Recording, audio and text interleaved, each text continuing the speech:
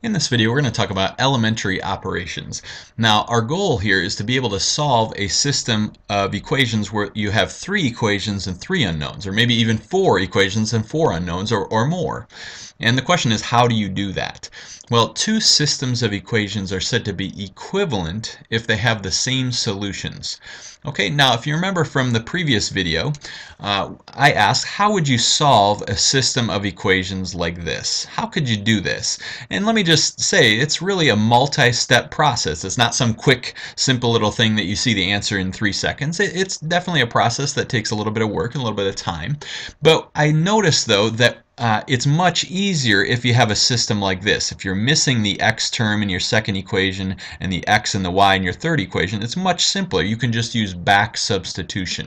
Okay, so our goal really is to be able to take a system of equations like this that's more complicated and be able to transform it into an equivalent system where you're missing the x here and you're missing the x and the y here.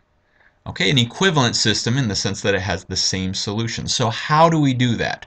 Well, we can use what are called elementary operations to transform a system of equations into an equivalent one. Okay, so what are the elementary operations? There's three elementary operations uh, that can be used to transform a system of equations uh, into an equivalent one. The first thing you can do is you can always interchange any two equations in the system. Okay, and let's just take uh, do an example of this. It doesn't matter what order you write the equations in. For example, I could have written that middle equation here on the top. Okay, x minus 3y minus z is equal to negative 10. And then the, the top equation in the middle. So basically I interchanged the first and the second equations and I'll keep the, the third equation the same.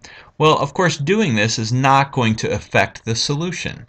Okay, the same x, y, and z that, that are is a solution for this system of equations will also be a solution here. So they're equivalent systems. So what I've done here, so I can I usually write it like this. I've done equation 1, so EQ1, and I usually put a little double arrow to uh, indicate that I'm fl flipping these two equations. Equation 1 and equation 2 have been flipped.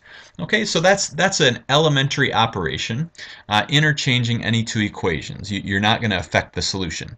The second thing that you can do is you can multiply an equation in the system by a constant. Okay, now the constant can't be zero, but you can multiply by a constant. For example, I could take this uh, system of equations and transform it into a new one by multiplying, let's say, let's multiply uh, this middle uh, equation by uh, 4. So let's do 4 times equation number uh, 2, and let's let that be our new equation 2. Okay, so I do 4 times equation 2, and that's going to be our new equation 2. I draw a little arrow. So I'm not changing the first equation uh, or the last equation. Those are staying the same. But I am just doing 4 times this middle one. Now I have to do 4 times everything on both sides of the equation. So I can rewrite this as 4x minus 12y minus 4z is equal to negative 40. Right? I just multiplied each of these terms by 4. Okay, now doing that is not going to affect the solution. Okay, so this system over here is equivalent to the original one okay, because um, you're just multiplied an equation by a constant. Okay, now the third one is the one probably that we use the most, but it's also maybe kind of the most um, one that involves the most work. Basically, you, you replace, you're allowed to replace an equation in the system by the sum of itself and a constant multiple of another equation. Okay, so what we can do for example, we could replace this last equation by minus 5 times the middle equation plus the last equation. Okay, so in other words, what I'm going to do is do minus 5 times equation 2, minus 5 times equation 2, plus equation 3. Okay, so I'm taking, and, and we're going to get a new equation 3. Okay, so I'm replacing the last equation by the sum of itself, right, equation 3, so the sum means plus, and a constant, in this case the constant is minus 5 times equation 2. Now why would I want to do that? Well, you'll see what's going to happen when we do this. Now notice I'm not getting a new first equation, and I'm not getting a new second equation. Even though I'm doing minus 5 times the second equation, I'm not replacing the second equation. I'm getting I'm keeping the second equation the same.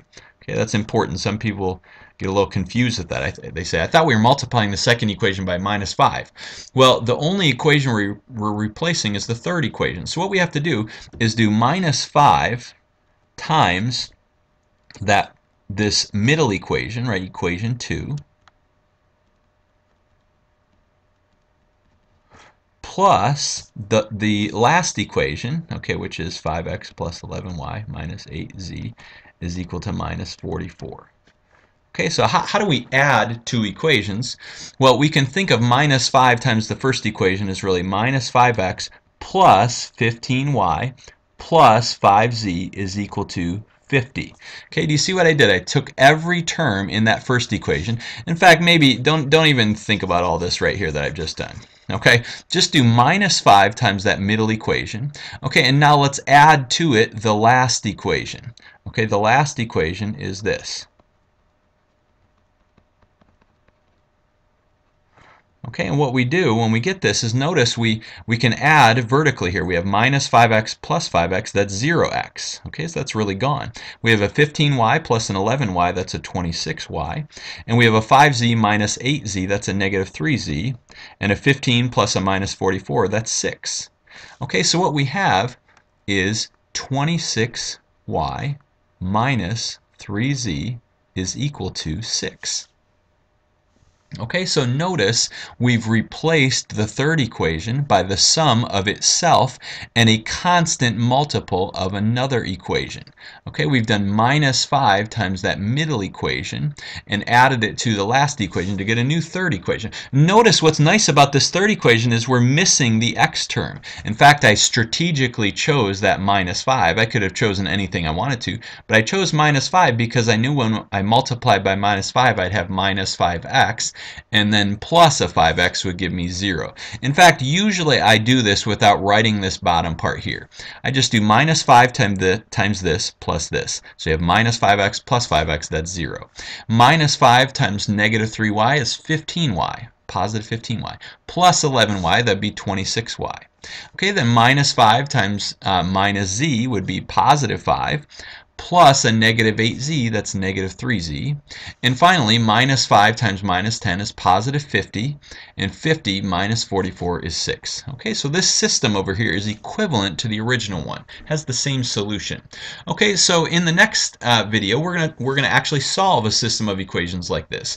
And what we're gonna do is begin with a system and use these three elementary operations to convert it to an equivalent system where we're missing the x term here and the x and y terms here. Okay, so we'll talk about that in the next video.